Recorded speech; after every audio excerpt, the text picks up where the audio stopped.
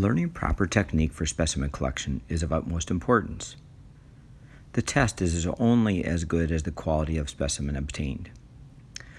Our goal is to reduce false negatives, and especially in the era of COVID, our attempt to try to reduce false negatives is of significant importance.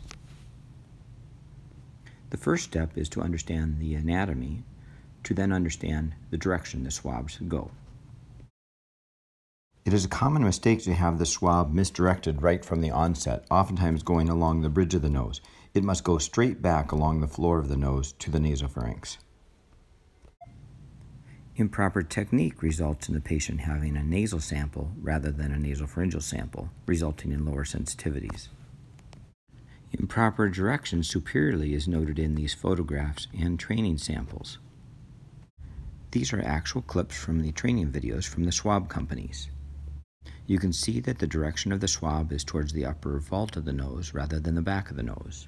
Poor training results in poor technique and thereby poor results. Let's learn good technique starting with proper direction of the swab into the nose, extending to the back of the nose towards the ear lobule. Let's review the proper technique for obtaining a nasopharyngeal swab.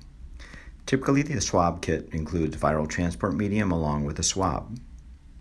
We first want to assess the patient's anatomy, ruling out a deviated septum or a narrowing that would prevent the swab from getting into the back of the nose.